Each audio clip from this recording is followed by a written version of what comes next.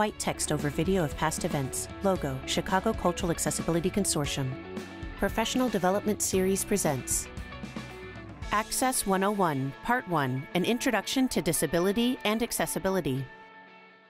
At left, presentation slides. At top right, mini video of presenting speaker. Below, an ASL interpreter signs. Hi, my name is Anna. I am a coach, one of three co-chairs with the Chicago Cultural Accessibility Consortium, or CCAC.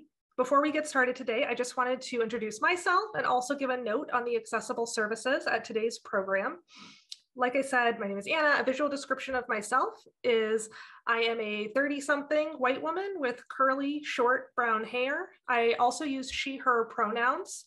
Um, I also just wanted to note I am giving this presentation from my home, so please bear with me if there are any internet connectivity issues. We have some backups, but nothing is perfect. So thanks for humoring us.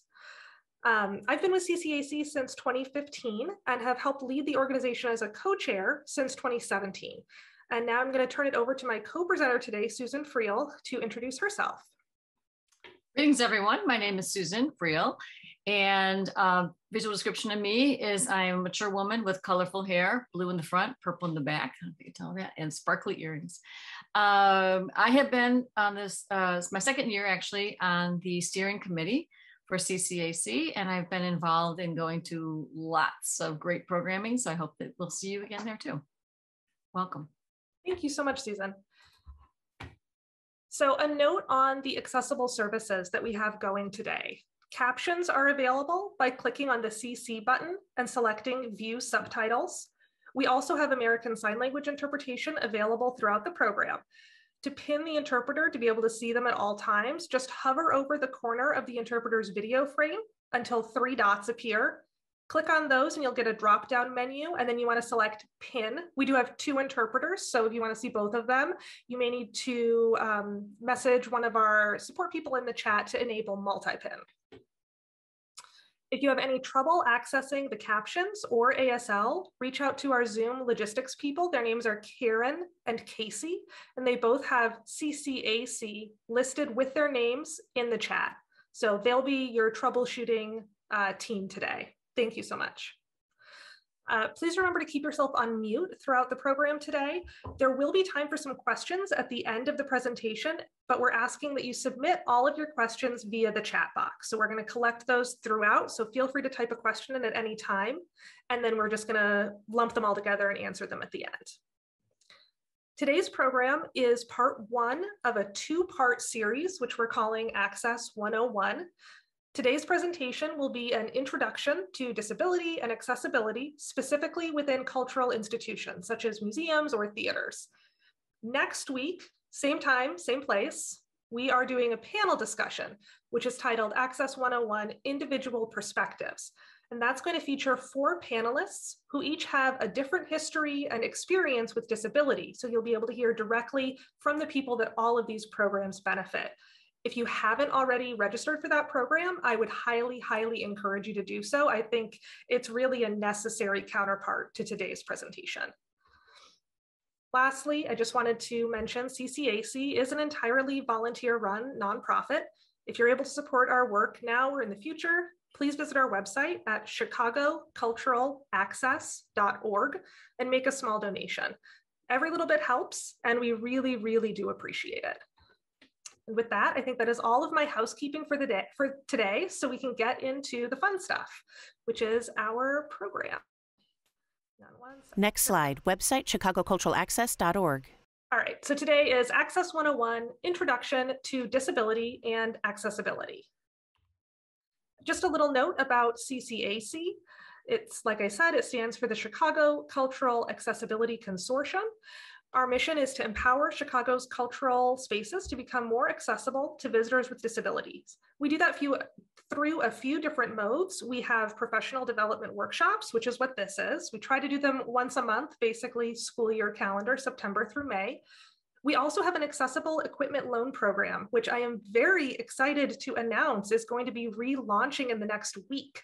So if you have used that in the past, if you want to use it again in the future, we had to take a hiatus during the pandemic, but now that things are opening up again, we have worked through some new systems. It is now also going to be housed in partnership with the Peggy Notebaert Nature Museum. So you'll be seeing a lot more come out on that um, on the listserv in the coming days for instructions on how to use that, but that is going to be a wonderful resource, especially if you're just getting started with accessibility. We also have an access calendar. So if you have these really fantastic accessible programs that you're bringing in ASL interpreters or audio describers for, you can submit them to the CCAC calendar, and then we help publicize them to the community. So it's a one-stop shop for people with disabilities who are interested in these programs where they can go and filter based on what accommodations they personally need. Also, we also provide um, just a network for people who are doing this work within their organizations a lot of times access work can be a little lonely. There's typically just one or two people at an organization who are super committed and passionate about making spaces more accessible. So we want to provide that safe space where you can meet other people who are doing similar work and really uh, just share your struggles, share your uh, successes, and get some help if you need it. Next slide website chicagoculturalaccess.org forward slash ICAN. We also, CCAC also hosts the Illinois Cultural Accessibility Network, which is very similar to CCAC, but on a statewide level. It's been a little quiet during the pandemic since we haven't been able to travel, but if you are outside of the immediate Chicago area, we are working on ramping that program up so that you'll have more resources available to you as well.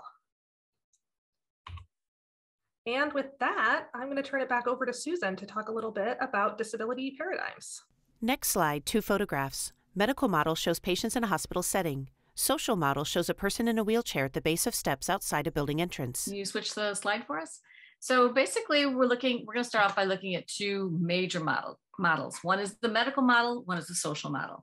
And the medical model essentially is that people with disabilities are something uh, are something to be fixed. So the focus is on the individual and um, looking at how that can be changed, how they can be changed. The social model, on the other hand, is looking at the environment in which people exist in, in our society as a whole and looks at how we can change and make the environment more friendly, removing barriers, bar- barriers, excuse me, and obstacles. So let's look at where those two things came from. Can we have next slide?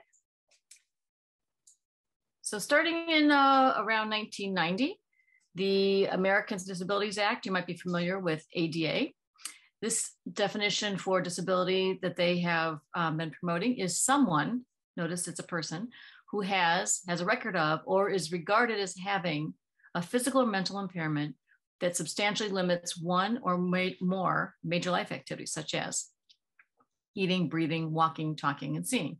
So this is person focused. This is the medical model. The second model that we're going to take a quick look at is the one um, promoted by the World Health Organization, which looks at disability as part of being human. Almost everyone will temporarily or permanently experience disability at some point in their life. And disability results from the interaction between the individual with the health condition, as well as personal and environmental factors, including negative attitudes, inaccessible transportation, and public buildings and limited social support. So next up, how many people are we talking about? What is the scope of disability is in America specifically? We're all in America, maybe. I don't know. There might be people here internationally. Um, one in five Americans has a disability that's as recorded by the US Census that impacts one in three American families, which is just a huge, huge percentage of all of our audiences when you think about it. It also impacts 37% of seniors in the state of Illinois. So I know a lot of our organizations are serving older audiences. So if you're serving seniors, you have to also be thinking about accessibility and disability and how that impacts your programs. Um, you can see a list here, some things that typically are very common that come on later in um, somebody's life. Um, you also have the issue, especially with seniors, that people may not self-identify as having a disability because it's something they've slowly aged into over time. So then we want to start thinking about well, how do we make things more accessible, not just for one individual, but for our entire audience? How do we make things a little more universal? People with disabilities are the largest minority group in the United States. It's also the only minority group that anybody can enter at any point in their life. If you have an accident tomorrow, you may all of a sudden become somebody with a disability and then have need of these accessible services. Um, it's a very fluid identity in some ways. Um, we also want to talk about temporary disabilities. So being accessible doesn't just mean that you're here to help people who've had a disability from birth. You're also helping out people who maybe broke their leg last week and need an accessible seat at your theater, um, things like that. So just keep all of that in mind. Um, I, I feel like the identity of disability, quote unquote, people sometimes think of it very narrowly, but it is a much broader category when you really think about all the people who would benefit from these services that we're going to talk about. I also find these statistics are very useful if you have to make the case to the higher ups in your organization who may not care all that much that this is a huge portion of your audience that you can't ignore. So that's the other reason I put all these out. I may have used these myself in other conversations. So next up, why does accessibility matter aside from all of those statistics that we just talked about? Um, cultural and arts organizations, which if you are here, it's because you probably work for or are interested in working for or have some sort of affinity with a museum, theater, park, library, those kinds of spaces. All of those uh, are committed to creating a positive experience for all of their visitors. If your organization serves the public, um, you want to serve all of the public. You don't get to pick and choose who your visitors are. This is critical to equity work and being an inclusive organization is to be accessible because like we just saw a third of, of your families include somebody with a disability. So you don't want to exclude um, a huge portion of your audience. Also everybody has the right to participate fully in the cultural life of their community. So that's a right that they have that we don't have the right to take away from them also, if those reasons aren't good enough, it's also just good business. People with disabilities represent $200 billion in discretionary spending in the United States. So you're cutting off a lot of your revenue source if you aren't going to be accessible to people with disabilities. And also, if all of that didn't convince you or the powers that be, it is also the law. You really don't have a choice. Um, we are all places of public accommodation as defined by the Americans with Disabilities Act. So you are required to be accessible. Accessibility can take a lot of different forms, and we're going to get into some specifics later in the presentation, um, but it is, it is a legal requirement.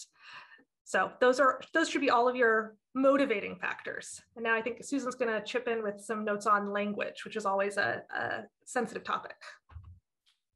There you go. So we're going to talk about purple, purple. There you go. People first language. and I think the picture at the bottom of the screen gives you a little clue to what we're talking about. So there's people of all ages, abilities, um, backgrounds. And it's just about that. It's about people, as Anna was saying. Um, put the people before their disabilities. We're all people first. Avoid euphemisms and outdated language. Those are um, sometimes can be quite quite cringeworthy, which we'll see in the next slide. And beware of nuance. The good rule of thumb is to talk about the person first. So if for institutional language or if you are um, printing something, that's kind of a baseline. But if somebody identifies, um, particularly if they say that they want to be referred to as um, the deaf community for cap, for example, the capital D, or the autistic community, then take your lead from the person who identifies themselves, right? But the default mode is definitely people first. Um, as I said earlier, referred to, these are some things to give you an idea of what to say, what not to say. Link in description below to PDF of chart. Right, so definitely focus on those on the left-hand side. There's a whole list here of um, some vocabulary you may have heard, some that you may have heard other people use, or you at a previous time may have used. So the ones on the right are ones that you want to eliminate from your vocabulary. And the ones on the left refer to person with a disability, person with a spinal cord injury, for example, person of short stature, someone who uses a wheelchair, things of, of that nature, rather than focusing on the deficit, focus on the person. And um, I think that's probably going to get you further than you um, focusing on the person, is what we've been talking about. Back to you, Anna. Uh, yeah, and like Susan mentioned with that, there is a lot of nuance in language. Language is always tough. I think everybody has different preferences. And I think people first is a good default for institutional communication, for something you're going to put on a website or print in a brochure. But for your frontline staff that are working one on one with people, that's where you really do want to defer to how people identify themselves, especially there are certain communities like the deaf community, the autistic community, who are more disability first, because that is an intrinsic part of their identity. Um, there's a lot written on disability language, so feel free to do your own research and read what people are talking about with all of that. Um, so now we're going to move on to the second big chunk of our presentation today. So the first half was a lot of background. Now we're moving into more specifics. And we're going to review four of the major categories of disability and some of the common accommodations that you are going to want to explore for your institution, depending on what works for you starting off with mobility related disabilities. This is probably what a lot of people think of when they think of disability. They think of people who are using wheelchairs, um, but it includes people who use canes, maybe a powered device, or maybe don't use anything at all and just have trouble standing for long periods of time and need uh, benches or seating so they can have frequent breaks, things like that. So you, again, you want to broaden your perspective a bit on what mobility disability might mean. This is the largest disability category in the United States. It impacts 25 million Americans.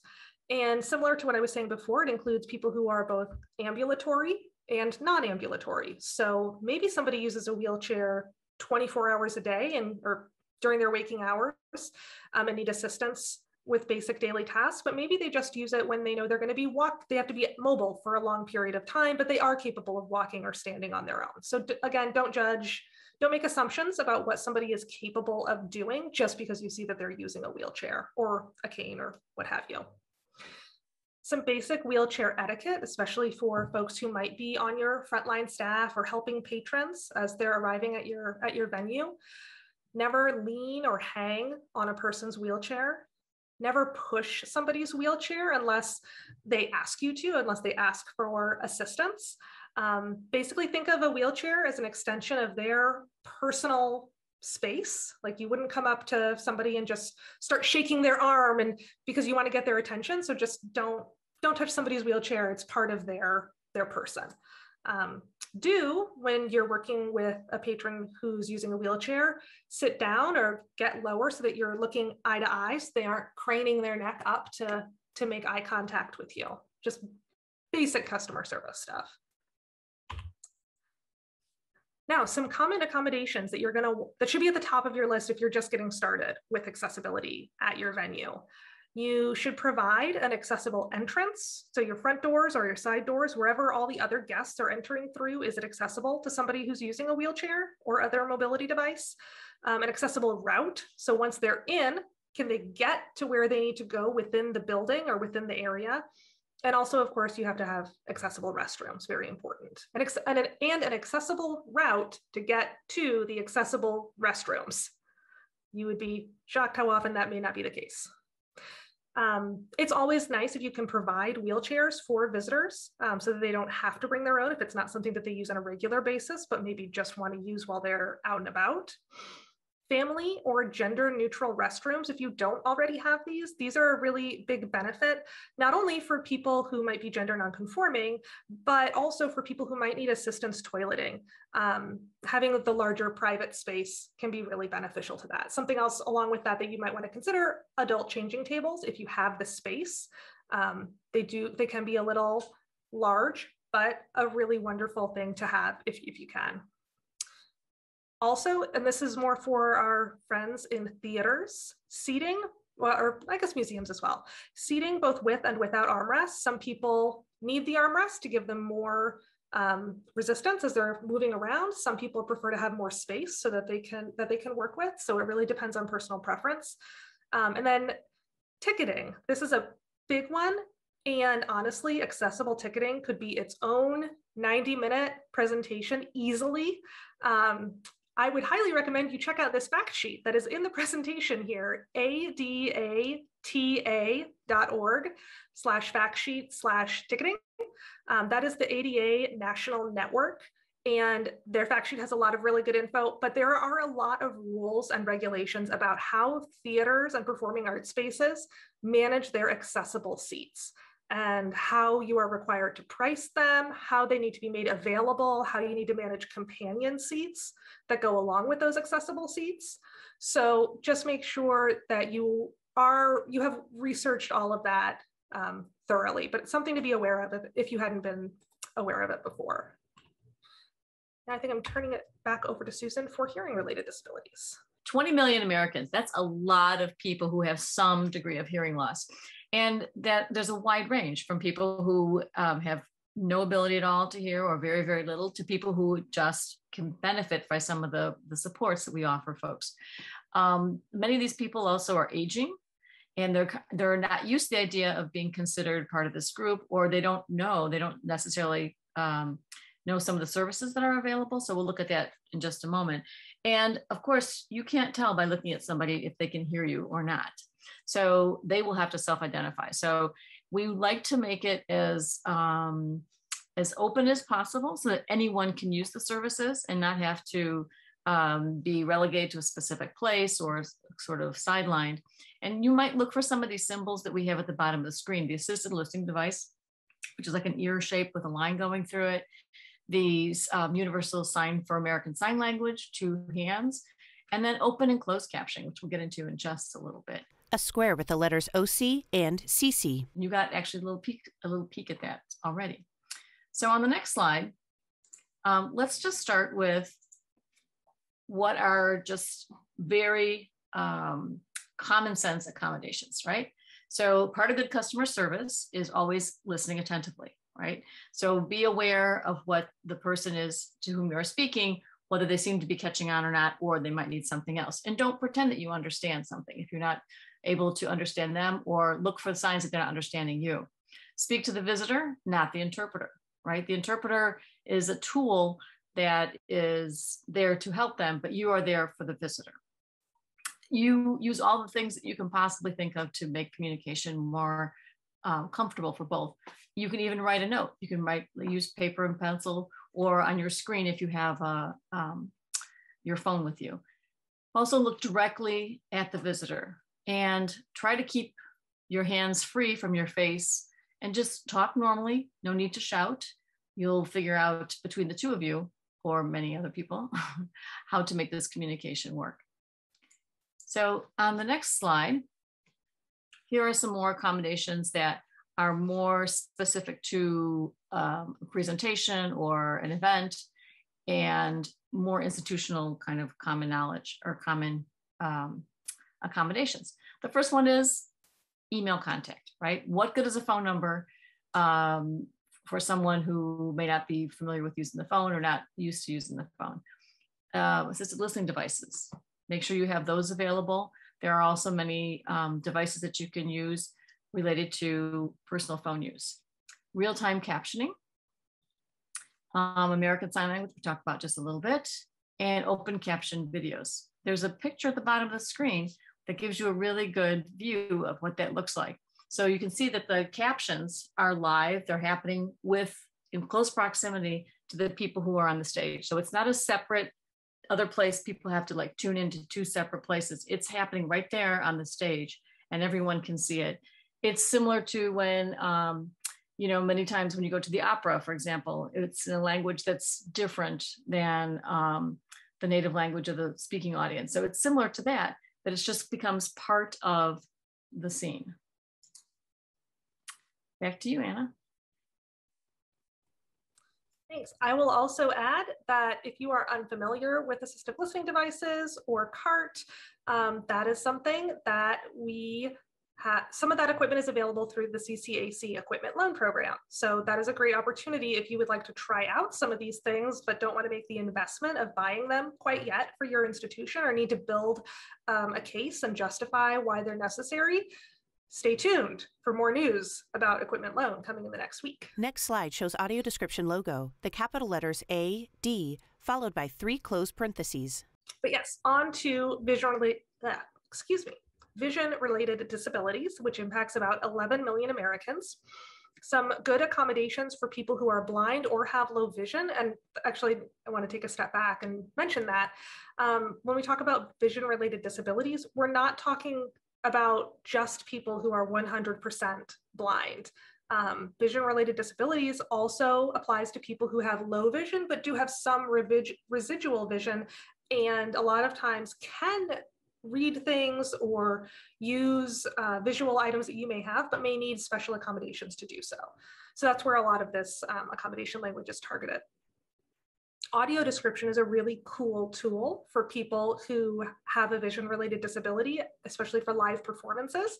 If you're not familiar with audio description, that is where, say, you're at a theater um, the person who is blind or has low vision will be sitting in the audience and they'll have a headset on and that, that headset is going to be connected wirelessly to an audio describer who is sitting in the back typically and will have a special mask on with a microphone. And as the play is going on on stage, they are working and talking in between the lines of dialogue and describing the physical movement that is happening on the stage and making sure that they are pointing out important elements that might be crucial to the plot, like so and so just entered the room in a in a tizzy or in a huff or whatever. So it gets across important information. It's really there's really an art to audio describing because you have to be able to get a lot of information across without taking away from the dialogue and not stepping on the actors. Um, but we also have audio description equipment available to rent through the equipment loan program. Um, something definitely to look into. There are a lot of really accomplished audio describers in Chicago that can help you out if you're looking to get started with it. Something else to look at, um, use large fonts, use high contrast colors. I do not identify as somebody with a vision disability. I just have poor general eyesight and have my whole life. Even I have trouble with teeny tiny little caption or labels at art museums and things like that. So the bigger the better when it comes to fonts provide electronic versions of printed items. Like I said, a lot of folks who have vision related disabilities do have residual vision. And a lot of times, if they have an electronic version of something, they can put it on their own device, blow it up, change the contrast, and make it readable for them. So that's something that's great to have, especially like your programs, your maps for museums, um, so that your frontline staff can just email those out to people if they ask in advance of their visit. Also, and this is just part of being more for museums, but just part of being good museum educators, provide information in more than one way. Don't have everything just on a label. Provide tactile, multisensory opportunities so that people can get that information in multiple ways. Uh, in your galleries, in your uh, exhibitions, avoid objects that are going to hang over the walking path that aren't cane detectable on the ground. So you stop people from walking into something and also web accessibility. This is a huge, huge thing since so much is online right now, anytime. Um, you want to make sure that your website and any information that you're putting out is readable by a screen reader, which is a special tool that people who have vision related disabilities might have downloaded onto their computer or their phone. And it's actually going to read all of the text on a website or whatever document they're looking at allowed to them to get that information. So you want to make sure that whatever your website has out there is compatible with that. And also you want to make sure that all of your images have alt tags because when that screen reader runs into an image, it's going to read aloud whatever, whatever is in the alt tag. And if that alt tag is nonsense or doesn't really describe what the image is or why it's important, then that's useless. And it can also just be very annoying for people who are using screen readers to come across that kind of stuff. Some communication tips for people who are blind or have low vision. Similar to a lot of the other tips, just general good customer service. Greet guests, identify yourself. If you've helped somebody to a certain area and you need to leave, let them know that you're leaving. Don't just leave them there stranded. Um, ask if they need assistance. Don't just assume. Again, these folks have been living with their disability for years in most cases, and they know how they navigate the world better than you do. Um, don't touch or grab them to get their attention. Just maybe say hello, let them know that you're there to help if needed. Speak in a normal tone of voice and don't shout. It seems silly, but it does need to be said. Don't pet service dogs. And we're actually going to talk about service animals next, because I know that is always a hot topic, at least in the museum conferences that I go to. That is always a hot topic. Um, and use an important one is to use descriptive language and specific directions. So, for instance, if your um, frontline staff are giving instructions to somebody how to get to a gallery, you want to say, oh, you go maybe 50 feet down the hallway, turn to your right, there's a small staircase, it's three steps down, and then you're at the entrance of the exhibition. Be specific with your language so that the visitor knows what they're expecting and can be prepared for whatever obstacles they may encounter. Next slide service animals. Like I promised, a note on service animals. Um, I come from the museum world, so this is always a hot topic for us. Um, the legal requirements for a service animal it is a dog. It is only a dog. Only dogs are service animals. Sometimes there's an exception for a miniature horse, but that is a highly specialized thing, and it is not something I have ever seen in real life with my own eyes. Um, the dog has been trained to perform a specific action to help the person with the disability. Service dogs do not need to be wearing a vest. They do not need to have any paperwork with them. You cannot ask to see any paperwork from a service dog. Um, there are two questions that you're allowed to ask if you think somebody's service animal isn't legit and you want to deny them entry. You can ask, is the animal required because of a disability? And you can ask, what task has the animal been trained to perform? That's it. So don't ask to see papers, don't ask if they can put on a vest, any of that stuff. Um, there is a difference between service animals and emotional support animals. You are required to accommodate service animals, but not emotional support animals. So the difference there is that emotional support animals have not necessarily been trained to perform a specific task. Um, for instance, a service dog maybe can sense I have low blood pressure. I tend to pass out. So it can sense when I am about to have a fainting spell and can come over to me, warn me so that I can get to a safe place to sit down and rest. Um, that dog is performing a specific action to help me, the person with the disability, in this hypothetical. An emotional support animal, on the other hand, maybe somebody has anxiety and they have a cat that they hold and holding the cat comforts them because cats are great and being like with another living thing is lovely. That cat is not actually performing a task. It hasn't been trained to do anything. It's just being a cat. Um, so that is the, the difference there between service animal and emotional support animal. You are not legally required to accommodate emotional support animals, but I will kind of this is my personal opinion. This isn't a legally binding thing, but I would err on the side of being generous just as a sign of being friendly and inclusive to all of your visitors.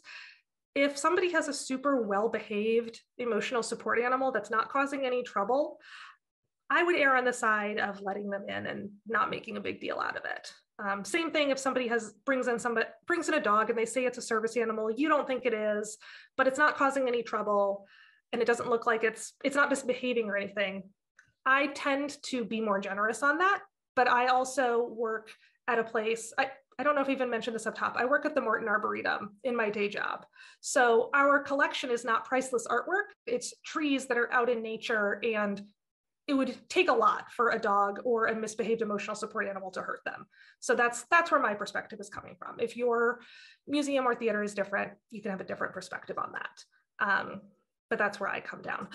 All of that being said, if a service animal or emotional support animal is misbehaving, if they are barking, if they are growling or threatening at other visitors, if they're pooping on the floor, you can absolutely ask the person to remove the animal. You cannot ask the person to leave. because the person is always welcome. But the animal, you can say, you know what, this is just too disruptive to other visitors. They're threatening other visitors. Can you take the dog home and maybe come back with a friend? Or maybe we can arrange another visit for you that doesn't involve the dog so that you can still have your visit. But um, I don't want you to think that you have to allow everything because that's absolutely not the case. You can you can ban a disruptive animal just like you can ban a disruptive person or ask, ask a disruptive person to leave. Um, so that is the, the quick and dirty on service animals. Again, there is a lot more out there. So if this is something that you are really interested in, or your site has a lot of patrons who use service animals, there's a lot more out there you can research. I think that is it for my service animal rant. Thanks, Anna. You know, that's a, always a favorite topic. People all have stories related to that. Um, so now let's look a little bit at two disabilities that are very much in, invisible, the cognitive and developmental disabilities. A developmental disability, as you may know, is um, one that is originated at birth or during childhood. So it's something that a person has been has been with them generally their entire life. 8 million Americans we now know have developmental disabilities. So it's not a small number. Um, some examples that you may be familiar with are people on the autis autism spectrum, folks with Down syndrome, for example.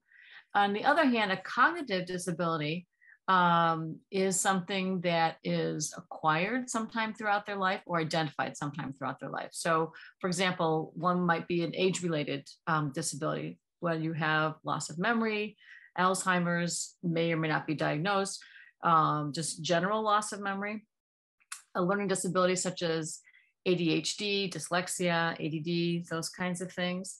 Those are all considered disabilities that we want to help people to accommodate um, their visits to our institutions. Um, another one, mental health, depression, anxiety. We're seeing a lot of this happening right now. So, again, be aware, be accommodating, be welcoming to people all across the spectrum. Um, another category is brain injury. This is something that is acquired through maybe through an accident or a stroke or some kind of medical condition.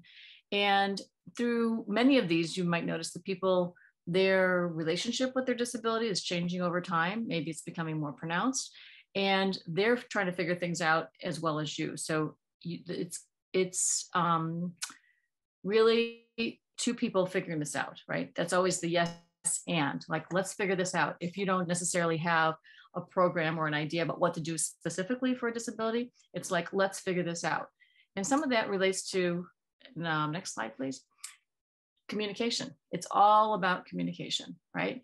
So it's you and the visitor trying to figure things out. So you speak to them directly. Again a lot of sounds pretty familiar right? We talked about this in some of the earlier slides. Don't speak to the companion speak to the person and also be age appropriate. So notice if you can um, the age of the person and think think in your best like teacher brain, right? How how is the best way to convey information and how is the best way to get the information from the person? Listening, listening very carefully and being very patient. Sometimes if you might not understand, just ask for clarification. You know, try it another way. The same way you do with um, anyone that you understand in a different language, say, for example. A lot of these things are very similar. It's like come at it from one angle. If that's not working, come at it from another angle. So it's about being patient and trying. And I think that takes us to our last slide. Next slide tips for welcoming visitors with disabilities. Yeah, thank you. Um, I did also want to make a note if you have questions please drop them in the chat we definitely will have plenty of time for q&a at the end of this so please put them in there. No question is stupid.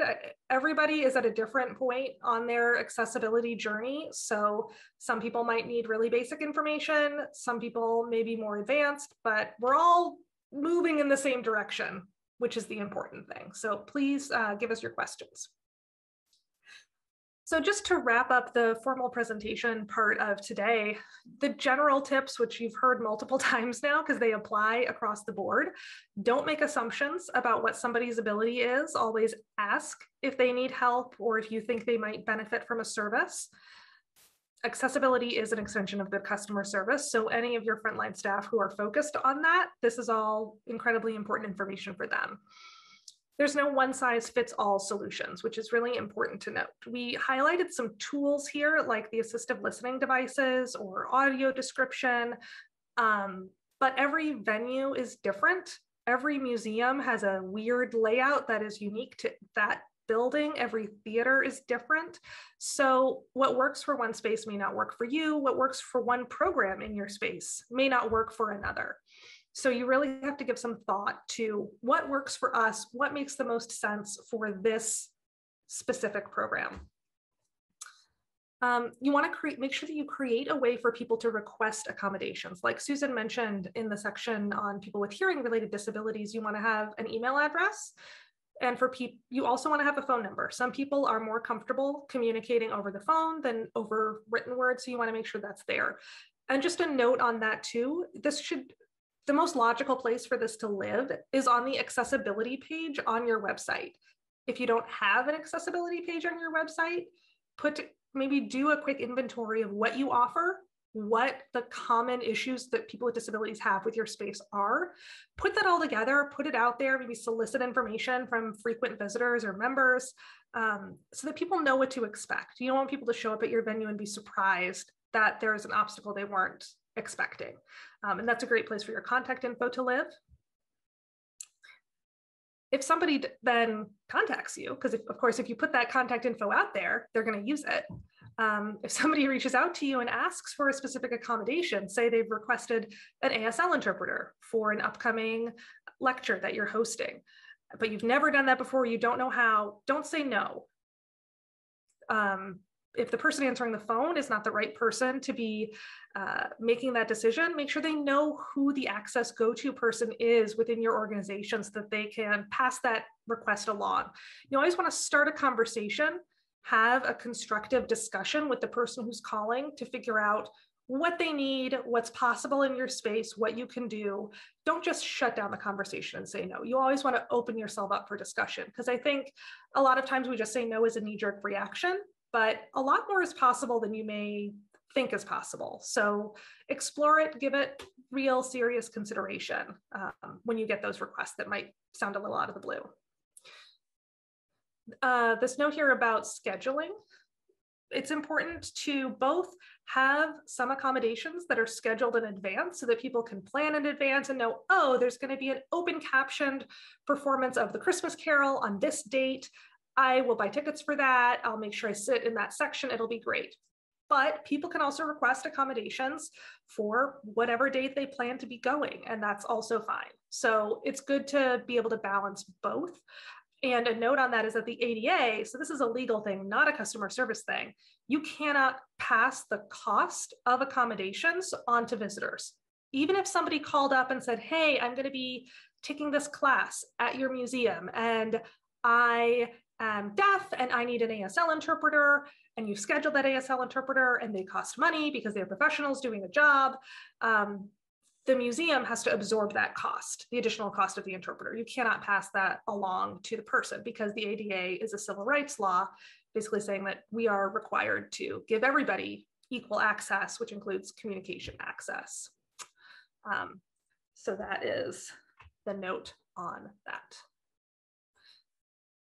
And finally, if you want to connect with CCAC, excuse me, we've got some tools here. Our website, of course, I know we've mentioned that a few times. We also have our info email if you want to ask a specific question. We have Facebook. We have a not super active Twitter page that we're trying to resurrect a little bit. Um, but yeah, the other big way to connect with CCAC is via our listserv. So you can join that on the website, but there's a lot of communication on there, people reaching out to the local access community in Chicago, trying to figure out um, answers to those access questions that they don't know off the top of their head. So I think that is about it for the formal presentation part of the program and I am actually going to see if I can stop screen sharing without messing up this entire setup. It took us so long to get here. A split view. At left, speaker. At right, ASL interpreter. Now we can all just be here together. So let's see. I'm checking now to see what questions have come in. I saw there was a comment here. Vision disabilities can also apply to people who have correct vision, but difficulty with brain processing visual input correctly. Absolutely true. Again, there is a huge range of vision related disabilities. So just because somebody can see something doesn't mean they're able to absorb that information the way that um, you want them to, which again is another reason that you want to have things that are get your information across in multiple formats in multiple ways. Um, don't have it entirely dependent on the written word because if somebody has trouble reading, that's going to be really uh, challenging for them. I'm seeing a note about, sorry, trying to monitor this in multiple windows. And Susan, feel free to hop in here if you want to help. Well, I was going to offer um, the person who put that, I don't want to out you if you don't want to talk on, on camera, but uh, the person who had put that comment in also says they're doing a research program with kids that requires a lot of reading and they are looking for some um, recommendations, someone help them think out think about that and probably somebody in this group would be able to help you improve the experience for those children.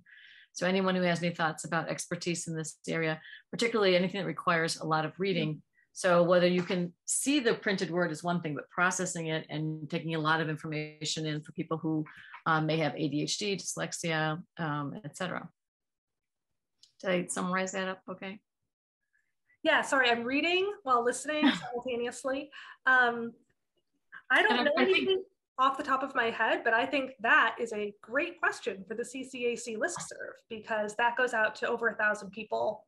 And I feel like somebody there might know somebody. And if you are working with um, schools, certainly the special ed teachers in that school or if a group is coming to you, that's a great resource.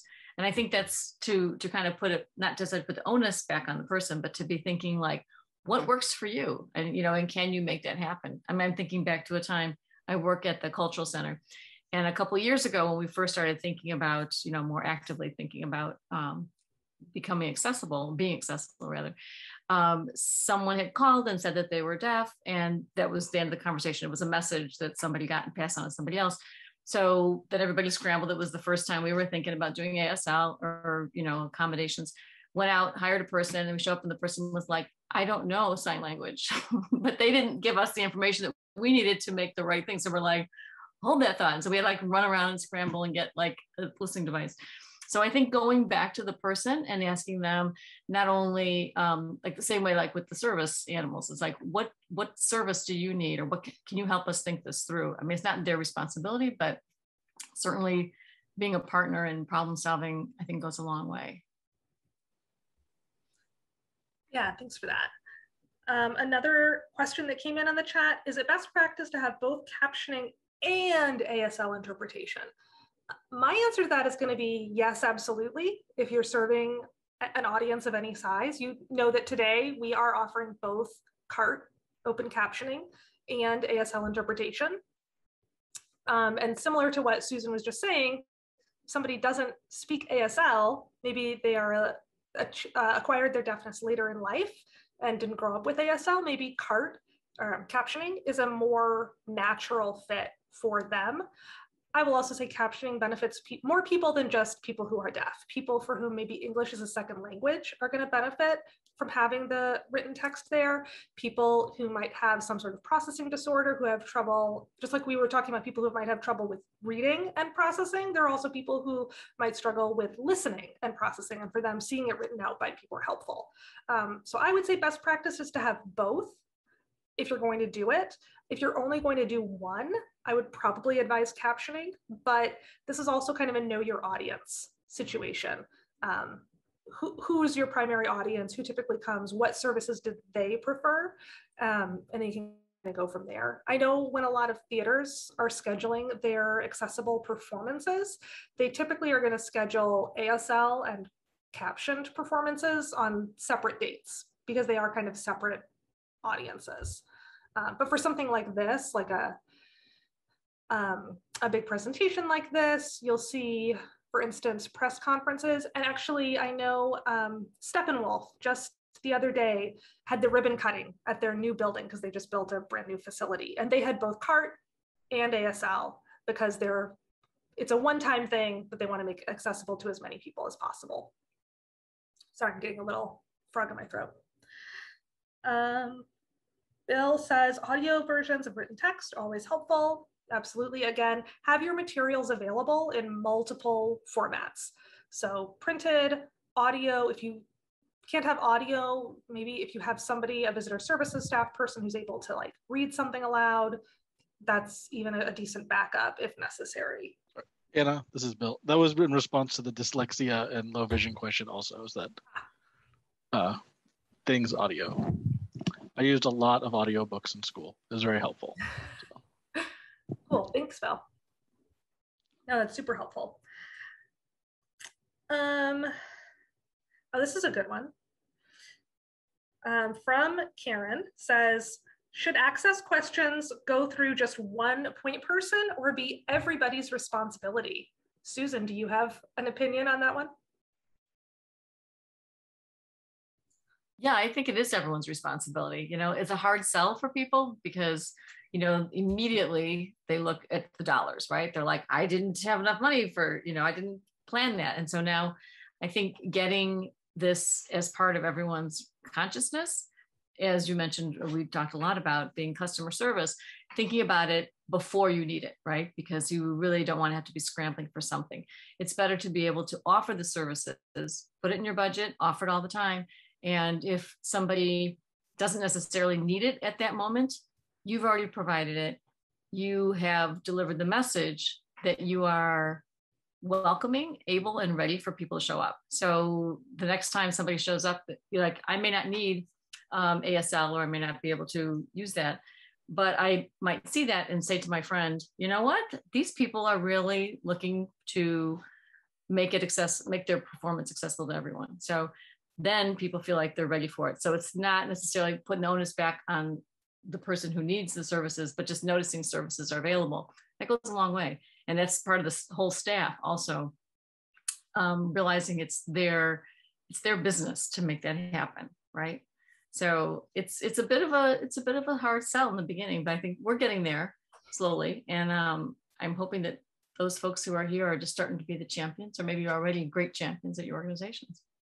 So I'll take the counterpoint to that, which is not that I disagree that access isn't everybody's job. I, I do think that is true.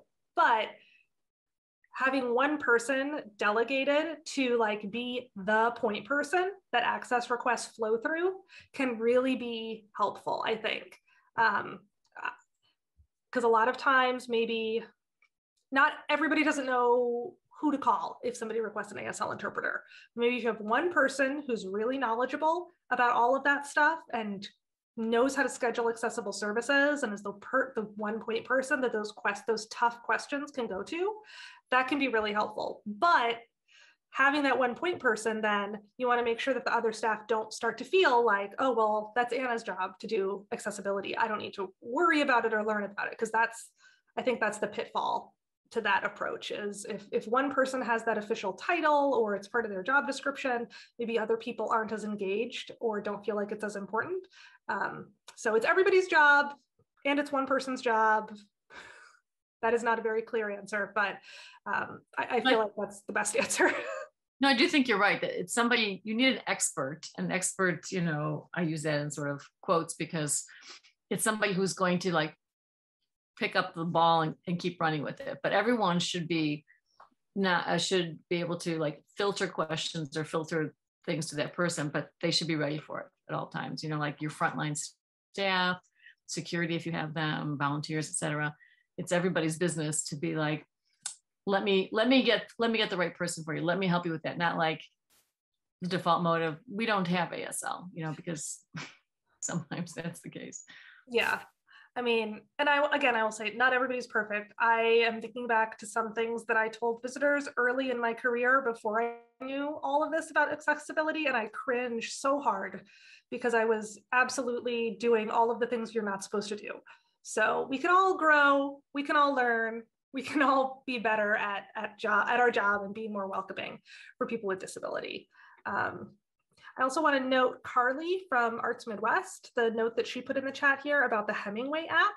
If you are, uh, especially for like programs, it sounds like, or for museum labels, if you want to make sure that your language is clear and understandable. It's a good app to run language through. I think I've read about that before.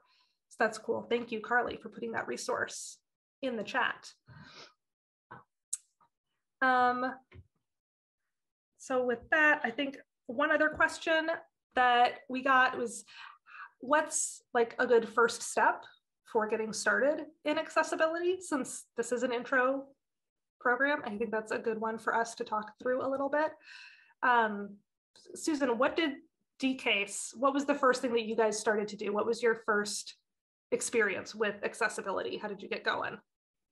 Um, well, I think it was actually um, me wrestling away from the security staff because it used to belong to facilities and securities, and they were always the no and people. and so when I started hearing about, you know, CCAC and going to some of the programs, me and another person on staff started being like, why are we always saying no to people? You know, so it was basically um, a couple folks advocating for it. And we um, now it's become part of visitor experience, which is our team. But, um, you know, like you say, starting off with like making some mistakes and kind of going, hmm, that doesn't feel good. You know, I, I wouldn't be, want to be another in this conversation. I, I want to feel more welcomed. But um, I think basically looking around and seeing like, what do you already have? Because I put together shortly after that, like um, like a spreadsheet, and it was like, which of these things do we offer? And it started. It was very, you know, we have a huge department, and um, we were kind of surprised that we had some things already, you know. So it was kind of looking across the board and saying, you know, a particular person maybe always did their um, programming with large print.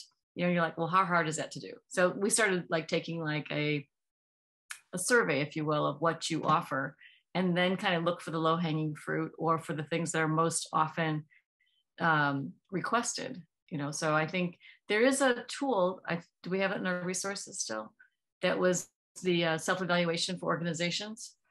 I think that might still be online. If it's not we can put it online. Yeah i think that was a really really great tool and christina actually came to our at the culture center and walked through with us and you know had good things to say and then also gave us some really um, some great tips you know because we have an old building that you can't necessarily change and we had some stairs that we were putting like chairs under and people could like you know get hit in the noggin so we were like stop doing that yeah, I think that tool that Susan's referring to is part of the ADA 25 for 25 project, which, oh my goodness, it was almost almost 10 years ago now, I feel. Um, but that was, or five years, I don't know. Time is a flat circle. Um, on the 25th anniversary of the ADA, the city of Chicago wanted to really celebrate accessibility. And so they did this big project where they brought together 25 different cultural institutions to try to make who are going to commit themselves to being more accessible. And as part of that, some CCAC members, including our founder, Christina Gunther, came up with this huge long checklist for institutions to go through and do a self evaluation for how accessible their sites are, which is definitely a good place to start. I would definitely recommend that. Um, and, and one of the things that Susan touched on, I think is also worth mentioning, which is your frontline staff, your box office staff, your visitor services staff, the people who are on the on the ground working with your visitors and your patrons every single day. If you go to them at a staff meeting and ask them, hey, what are the most common issues that you see people having with our space? What are the most commonly requested items that you have to say no to? What what do you think would be a good way for us to get started? I bet you they're going to have a ton of ideas because they're the ones who have to tell people no and have those uncomfortable conversations. So my experience has been that those those staff members really have a good um, have their finger on the pulse of, of what visitors need. So I would start there as well. I think the evaluation is good. I think asking your frontline staff, you can't go wrong to get their get their feedback. Um, oh, thank you, Claire, for dropping the self-evaluation tool in, or the link to it in the chat. I thought it was still online. So I think we're winding down now. I think we're going to end up ending a little bit early today since uh, you don't seem like a very chatty bunch. There aren't too many questions coming out. But the one question I kind of wanted to end on, discussion question that Susan can speak to. If anybody else has opinions, feel free to uh, drop them in the chat. But what do you think is the most rewarding part that, of the accessibility work that you have done? what's made it all worth it? I know it's not always easy.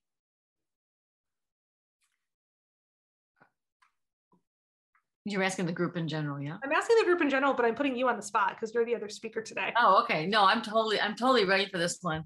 And Bill, you better you better back me up on this. Um, we um, had a nice relationship with Bill when he was with the Blind Service Association, and um, I had an experience that I didn't find very satisfying with a someone doing an audio description um, at an art institution talking about what people couldn't see, right? And so I thought that didn't make a lot of sense to me. So with Bill's help, we started looking at our building and doing a tour that spoke to all the senses. So it wasn't like, sorry, you can't see this. That's really cool. Let me tell you about it. You know, it was more like walking through the building, hearing things. We were able to touch things. We were able to participate um, with Goat Island and wear some of the costumes and do a whole sound piece. So, um, you know, finding a good partner who will help you think through those things and kind of, you know, you don't have to be perfect before you do it. You just have to get started with doing it and go to it with, you know, clean heart. What do you say, Bill? I will back you up 100%. Those were great. and I, I totally agree with you. It's when you get to do programs like that, when you get to bring groups in and do, um, like actually work with people. I mean, it's it's a lot of fun to be in a meeting and talk about all the logistics for adult changing table, but it's way more fun to bring a a group of people to um, we have we have tactile lion whiskers now and i've got to share that with quite a few groups of people who are blind and low vision and i love it. I love it so much. It's so much fun. So.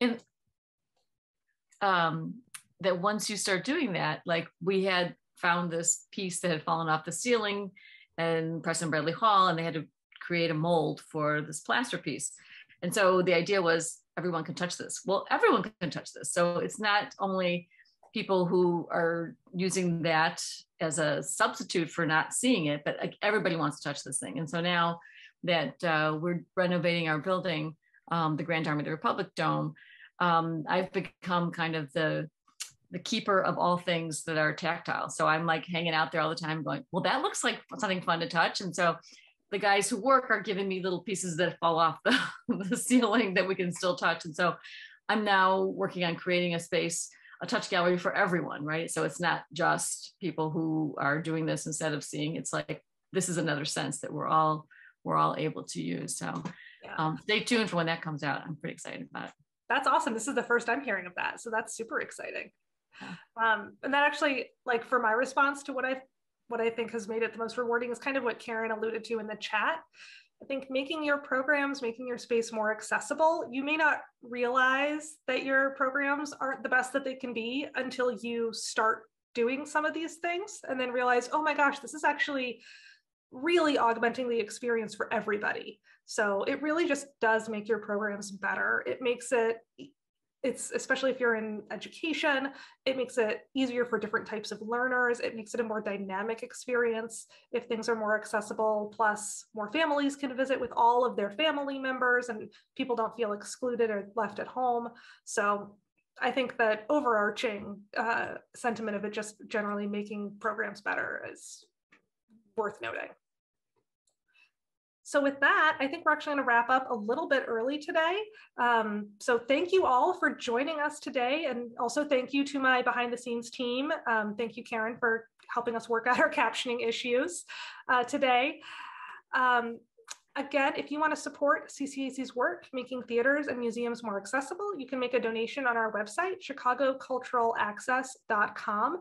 Also, again, I want to plug next week's program, which is that panel discussion between um, some CCAC moderators and then four individuals who, like I said, are going to bring very different, diverse perspectives on disability to have a conversation with us. Um, so if you haven't registered for that, you can also do that on our website. Highly recommend. Thank you all. Have a wonderful evening. Fade to black. White text on black background. Access 101 An Introduction to Disability and Accessibility. Presented by Chicago Cultural Accessibility Consortium. For workshop resources and more information, visit chicagoculturalaccess.org. Presenting speakers Anna Cosner, Director of Retail and Events at Morton Arboretum. Susan Friel, Education and Engagement Visitor Experience at Chicago Department of Cultural Affairs and Special Events. Workshop Accessibility Caption Solutions, Real Time Captioning. Bronwyn Schlafer and Danielle Helgeson, ASL Interpreters. Video Editing, Captioning, and Audio Description by BridgetMelton.com.